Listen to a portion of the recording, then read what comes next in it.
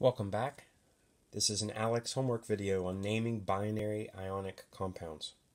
Binary means two parts. So there's a front part and a second part. So you've got two elements that are combining. And ionic, normally an ion is, is something charged.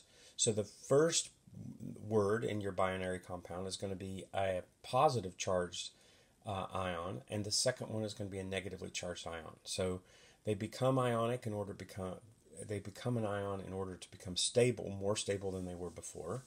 And then once they're an ion, they work just like magnets. All positives will simply attract all negatives, and they just stick together, uh, just like your socks do in the dryer. They it's just electricity.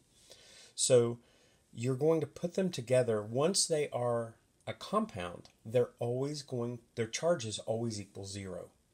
So since they're always going to equal zero, you can guess how many goes with each.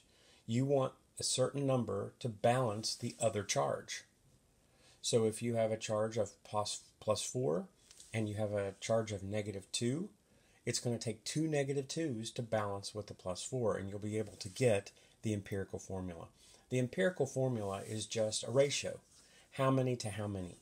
Is it a 2 to 1 ratio? Is it a 2 to 3 ratio? That's the, that's the empirical formula. Then you're going to need to name the compound. And how you name it really has to do with the cation.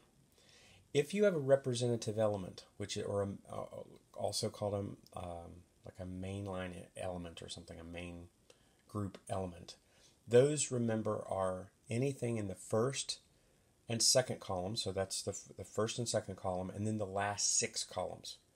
So anything in the first and second combining with anything in the last six um, is going to be just regular names. You're just going to say calcium, calcium and oxygen. You'll just say calcium oxide. If you have uh, metals from the middle section, that little valley in the periodic table, so from scandium, the column scandium column to zinc column, you should always have a periodic table when you're listening to these videos. Otherwise, you will be mis- totally confused. Anything in the middle there, you are going to have multiple charges. So you don't you can't just guess. You can't just say, "Oh, that's going to be positive 2 or that's going to be positive 4." You have no idea. So they, they can be multiple ones. So whatever you have is going to have a name that gives it away. Let me give you some examples. Let me just do a few of these.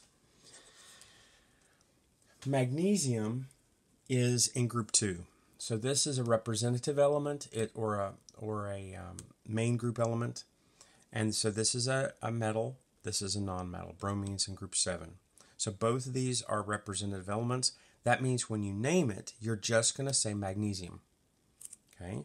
So first of all, let's put it together. Magnesium has positive two. And then you're going to put bromine beside it. Okay. Now, how many bromides are you going to need to balance this positive 2? So I've got negative 1 and positive 2. I need two negative 1s to balance with two positives. So I'm going to give a subscript here to the bromide. So it's going to be MgBr2 will be its empirical formula because this has to balance. All of these will act the same way. They add up to zero. So you simply double or triple uh, the smaller one in order to get it to be um, equal to the other one. Okay. What about its name? Since this is a representative element, it's in group 2. Remember 1, 2, the first two columns or the last six columns, you don't have to worry about um, special names. You just say magnesium, and you have to learn how to spell these. And then bromine turns to bromide because it's second.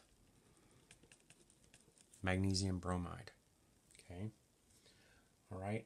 Rubidium works the same way. Rubidium is in group 1. So you know that if you're looking at a periodic table. It's in group 1, so these are representative elements. So I'm not going to make any, there's no funny names, so you're just going to call it rubidium. First of all, let's make an uh, empirical formula. I put rubidium first, bromine second. I've got one positive and one negative. Okay, they're already balanced. They already cancel down to zero, so I don't need any subscripts uh, for either of these. It's just RB, RB, BR. Okay, Now, how do I name it? I simply say rubidium. Rubidium. And then bromine turns to bromide. Do you see there's two words here? It's not one word, it's two words rubidium, bromide. The two word name, since it's a binary, binary means two parts. Iron is weird. See, sometimes iron is positive 2, sometimes iron is positive 3. There's even other cases of other charges.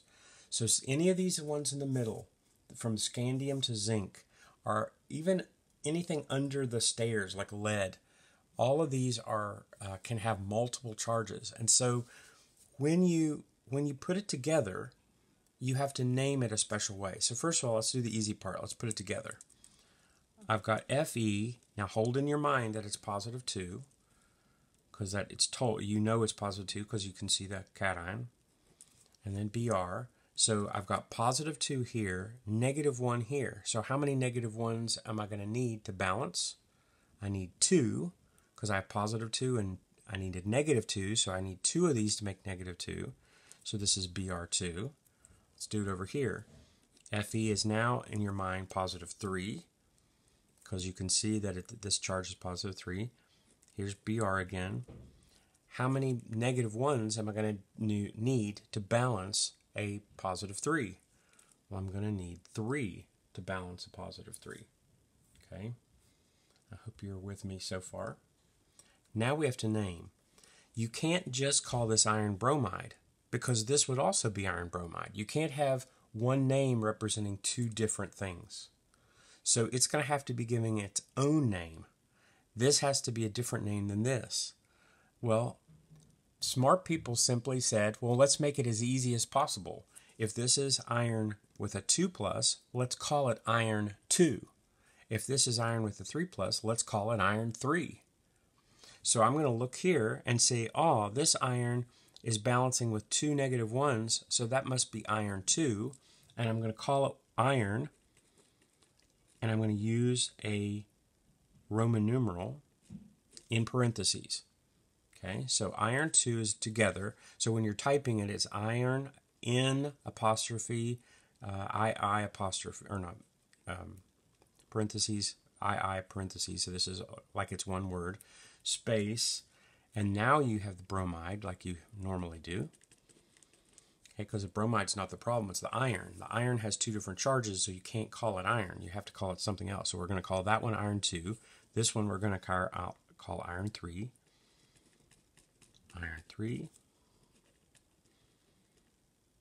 Bromide. Lot here. I hope you're getting getting along. Just ask me in class.